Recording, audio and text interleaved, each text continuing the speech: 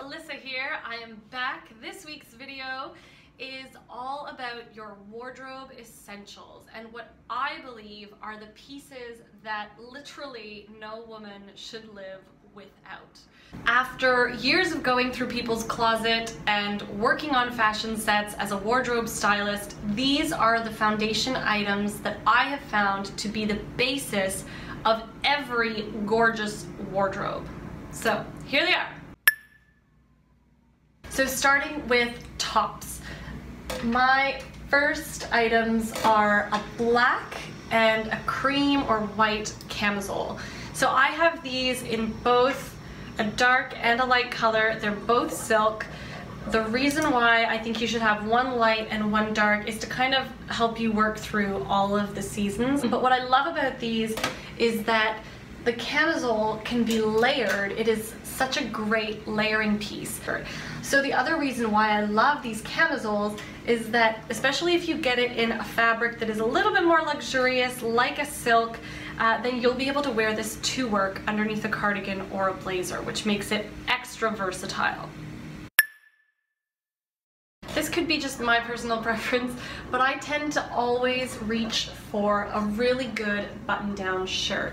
I've chosen this chambray one here because chambray is a little bit loose, it gives you a nice sense of ease and feeling but it is not tight and restrictive. I love that it can be styled so many different ways. Tuck it in, leave it untucked, do the quasi tuck, throw it under a sweater for a preppy look, or like I said, wear it with a cool trouser or pant, unbuttoned with a great necklace or earrings for date night and a good heel. There are so, so many ways for you to wear a good button-down shirt. I would recommend having a dark and a light t-shirt. I prefer v-necks, but that's just my preference. Uh, if you prefer a crew or something that is a little bit uh, like a tighter fit, I like it when things fit a little bit loose, but those are just my personal preference. What's important is that you have a black tee and a white tee that you're comfortable in and that you feel great in. A black tee and a white tee are just so, so good for layering. Don't be afraid to wear them dressed up. These look awesome under a blazer if you need to wear them to the office. A simple white tee can look really smart with uh, just a simple trouser or a pencil skirt. Uh, and same thing with the black tee. Because it's black and a little bit more rich looking, you can pair that with a pair of jeans, a stellar pump, maybe a cool piece of jewelry, and be on your way for date night the lightweight knit sweater. This great guy is nice. See how lightweight it is? It's from Club Monaco. Again, I chose a v-neck because that's the neckline that I prefer in this kind of sweater. Depending on the type of neck you have, how busty you are, you're gonna wanna choose a neckline that just suits you. This is really more about just looking for a simple classic sweater that's long enough, that has really nice clean lines, no voluminous sleeves or embellishments or anything like that, just a nice simple sweater. I love this because again, if you get it in a nice neutral color that you can pair it with a lot of different things. But similar to our black tee, this simple sweater can really dress up a look, whether it's a denim or paired with a trouser. I also like it because it's lightweight enough uh, for you to throw underneath a blazer or a denim jacket.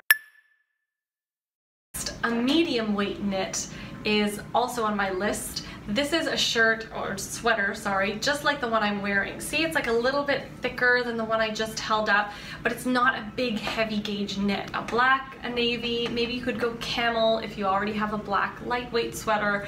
Make sure that it's thin enough to be layered underneath items like a denim jacket, but it's also thick enough to kind of stand on its own. Denim jacket if you don't have a denim jacket in your closet, I would highly recommend you get one. This is a Levi's, really simple. You can find these really easily at uh, consignment stores or even thrift shops.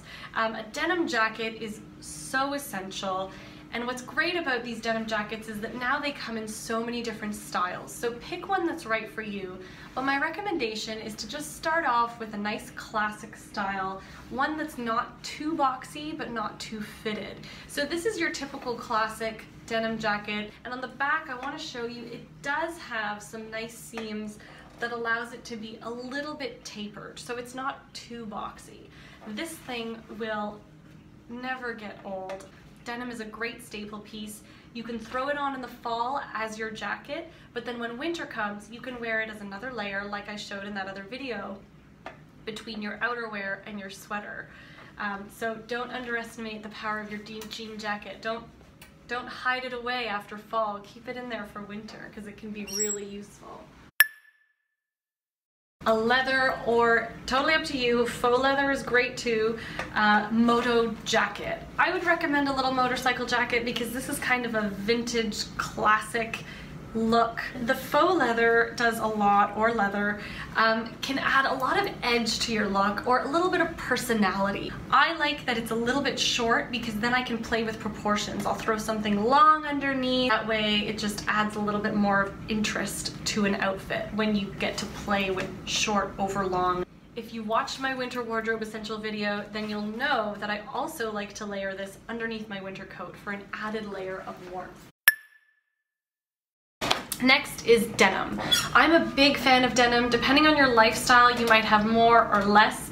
I always make sure though, no matter what it is you do, to have one pair of black and one pair of blue denim. Look for denim that is not embellished, not too trendy. I always would recommend getting it in a darker or medium wash because it's a lot more flattering. These are a skinny pair here, but if you're not super into the skinny, then grab yourself a straight leg. Black denim, I wanted to show you the ones that I'm wearing. These are a mother denim, and in most of my denim, I look for a higher waist. I also look for that kind of skinny or straight ankle. These are what I prefer to flatter my body, but what's important is that you find a black and a blue denim that fits you and suits your body. Make sure that when you're starting out, when you're building your basics, neither of your denim have rips or holes. The reason why is that these black denim and even your blue denim can also work for the office if need be. If you have a dress down Friday, throw them on with a turtleneck and a blazer and they're instantly dressed up. A pair of well-fitting trousers. I should just say everything in here should fit you well. That's just a given. If you didn't watch my last video about how to have a closet full of things you'll love, then watch it and then then come back and watch this one. Um, but a pair of trousers, and I don't mean denim or khakis, I mean like a really nice blended wool trouser. I have these also from Club Monaco. I swear I do shop elsewhere, um, but their pieces are just so classic. These I bought, I remember, in my first or second year of banking. Um, so it's been about oh, 10, 12 years. These trousers are just beautifully tailored. They're very simple. See, there's almost no detail on there, but they fit really, really well. This kind of pant is just super essential for times when you want to look polished and professional, or even if you want to wear them like on date night with a great heel and a cute little blouse. Uh, maybe it's buttoned a little bit low and you're showing off a little bit of your bralette underneath or something like that. A trouser can still be really sexy. Find it first in a neutral color like black, navy. Uh, camel would also be a good option if you're tired of seeing dark colors in your wardrobe. But definitely make sure you've got a pair of trousers. They will take you from work to weekend to, you know, when you're 10 years older than when you first bought them. Ah! I would definitely recommend every woman have a high-waisted pencil skirt. I know, I hear a lot of ladies are like, no, pencil skirts don't look good on me. But once they put it on, it looks amazing. The hemline is really what's gonna make or break whether you like a pencil skirt on you or not. Find out what hem length works for you. For the most part, the right hem length on anyone is where your leg is getting smaller. For most of us, it's just above the knee. For others, it's right where the calf starts to get thinner just around the ankle. Same reason I love that black trouser. A good pencil skirt can work just as well at the office as it can on the weekend or date night. So maybe you wear this pencil skirt with your nice button down or with a camisole and a blazer over top to the office and then on the weekend you could throw this on with a cute little sweater and a great pump or a little flat for brunch with the girls and off you go. Love, love, love your pencil skirt. Love. Finally, every now and then we get dressed up, and I think it is so important to have a really good dress in your wardrobe. Here comes the sheath dress. You've heard me talk about this before. This little guy uh, I have had for I would say seven years. I bought it in Sicily at a designer outlet. It's Dolce & Gabbana, so of course I'm never gonna let it go. Much like the pencil skirt, this is a silhouette that suits pretty much every body type. What's important to make it your own and make sure that it's very flattering on you is choosing a neckline that suits your body type, deciding whether or not you want to show your arms, and again, finding the hem length that is right for you. So that is it. These are the pieces that are the foundation of your closet. So once you've got these, you can start playing around with adding textures and colors. Thank you so much for watching. Um, give me a thumbs up and a like if you liked this video. Please leave your comments below. I love to hear from you and see you next week.